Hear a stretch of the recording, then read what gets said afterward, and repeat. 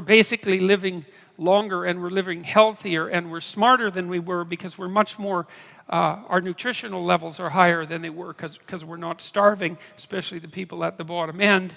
And, uh, you know, we're educating people all over the world. The Chinese graduate more engineers every year than the US have engineers.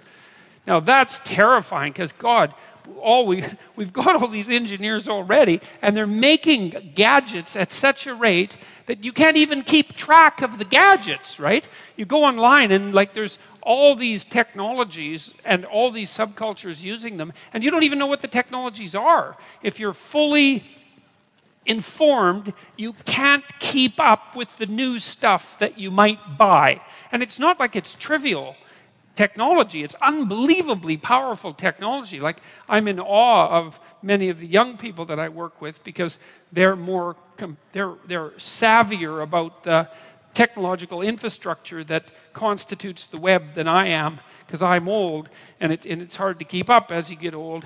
Um, and you know they come up with tools to make difficult things very simple very rapidly. And there's just subcultures everywhere that are doing this at an unbelievably rapid rate. You know when you go to somewhere like silicon valley and i've spent a lot of time in silicon valley and it has its problems but jesus there's an unbelievable collection of smart people there. And, and they're working on things like they're working on things like mad.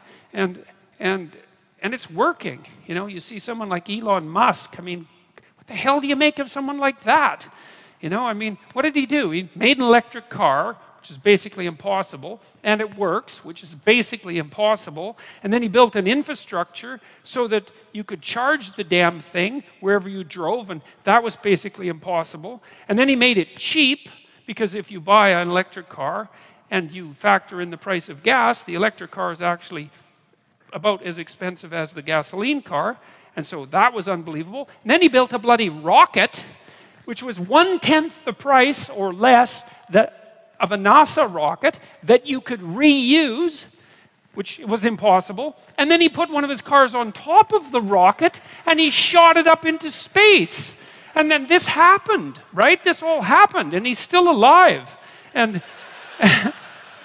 you know, and then he went and blew it all by smoking pot on Joe Rogan, you know, because, because, well, it's so funny, you know. We, you know, we like our insane geniuses like predictable and, and, and, and, and safe. And so we don't want them doing strange things like having a tiny puff of marijuana on a show famous for marijuana.